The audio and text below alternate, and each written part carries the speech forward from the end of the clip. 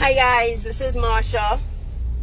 And as promised I will be putting up my signs um, in front of Parliament building. And I'm going to use the words of the minister of I don't know what he's the minister of to be honest anymore. Stuart Young. When he spoke about El Pecos he mentioned substance over form just gonna turn the camera quickly as I've parked he mentioned substance over form he said that at the end of the day, El Pecos was always a restaurant. And they could be charged because they're using loopholes. They know they're not a supermarket. Well, I'm going to suggest substance over form. I am going to put signs, yes, on a public space. But you, you have stopped us from gathering and from protesting. Prove to us that the state of emergency was not called to stop dissent. The United Nations stands firmly in their position. We are not to stop citizens from exercising their democratic right to disagree with the government. So you want us to abide by new normal, then you abide by new normal forms of protesting. I am calling on absolutely no one to join me at this very moment do not gather. There, I made a block before I go to put up my signs. There's no one around. So it's not like I met a crowd. Let us put up our signs. Prove to us, and that's what my first sign actually says. Right? My first sign says, prove to us that this state of emergency is not about stopping our signs, not about silencing us. Leave our signs up. Let us plaster signs all around Parliament. Leave our signs up because we're not gathering. So anybody that comes here to put up a sign, if you meet a crowd, don't come out your car. If there's no one there, get out and put up your sign. New normal protesting. We are protesting without any form of public gathering. Prove to us that this state of emergency is not about stopping dissent. I'm going to put up my sign now. I'm here with my daughter. She's going to continue holding the camera for me. We are not gathering because I'm with my daughter walking. I'm going to walk because I don't want to park directly in front of Parliament because I'm respecting Parliament.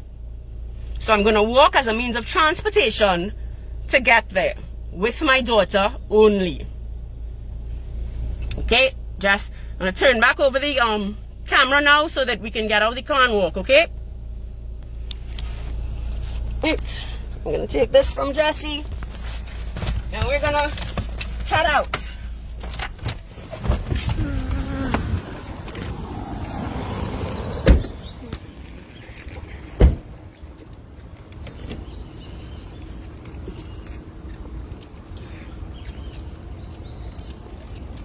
Get my butt. you can just get Parliament, don't get me yet. You know I don't like the camera.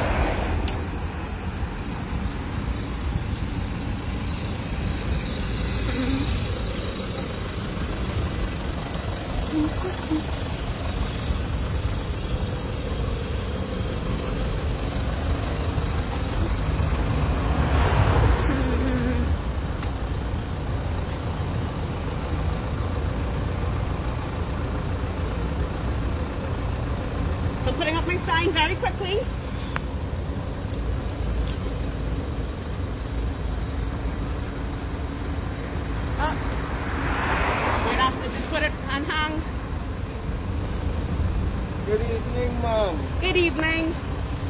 You will need to cease and desist from this process, from Okay. this protest Can I right speak? now. Can I have one minute to speak? it is a state of emergency. I understand that. When you pick up these things and you put away the protest, I understand that, but you have to put that International away. law allows me to speak. Ma'am, International law allows me to speak. a state of emergency. International law, the United Nations says that governments are not allowed to use state of emergencies to stop dissent. That is what international law says. What's your name, please? I'm not harassing anyone. What's your name, please, ma'am? matter what Marsha. Walker. Guys, they have told us that we need to stop. I, I'm, you're doing your job. They have told us that we need to stop. So we're going to take our signs down. Today was proof that the state of emergency is not about COVID. It is about silencing our voice. What area from, please? Could I ask? Is there a reason you're asking? I need to get the information in order to pass it on. This is part of my duty. Sure.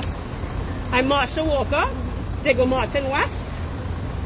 Let it be stated for the record that I was a candidate against the Prime Minister. So I hope that that does not go as part of the victimization that's happening today. No victimization. But but the UN says it. The UN says it, sir. The UN says the UN clearly says it.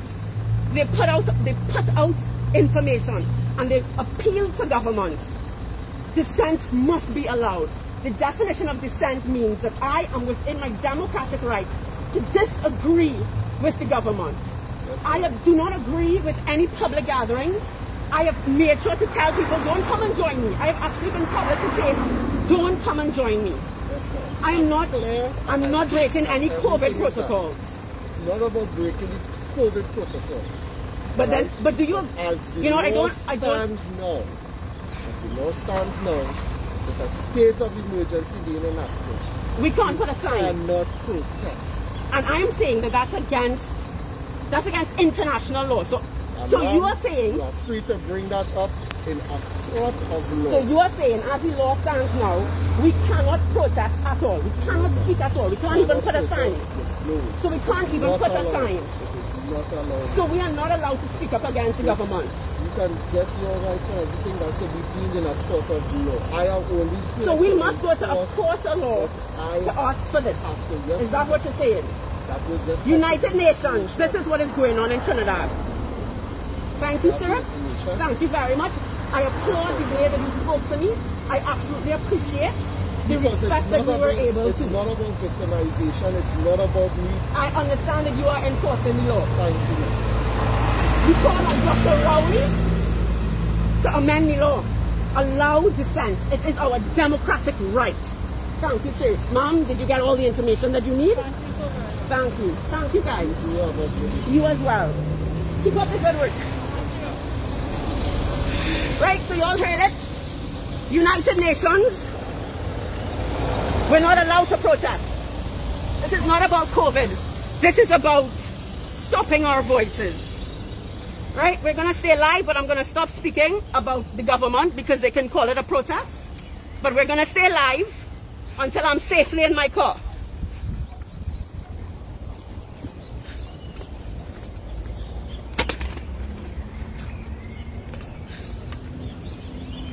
Right? It proved to us that this state of emergency is not about silencing us. If they were interested in silencing us, they would have allowed, they were not interested in silencing us. They would have allowed the signs to stay up. They did not allow the signs to stay up. Because this state of emergency is about silencing us. It is about stopping dissent which the UN said no state of emergency should allow. Right? That's what this state of emergency really is about today. It's about stopping dissent. It is not about COVID. Open up your eyes, Trinidad. Write letters like crazy. Put these signs Put it outside your homes. Right? Do it. Actually, no, don't do it because they'll say that that's us protesting. And we're not allowed to protest. We're not allowed to speak.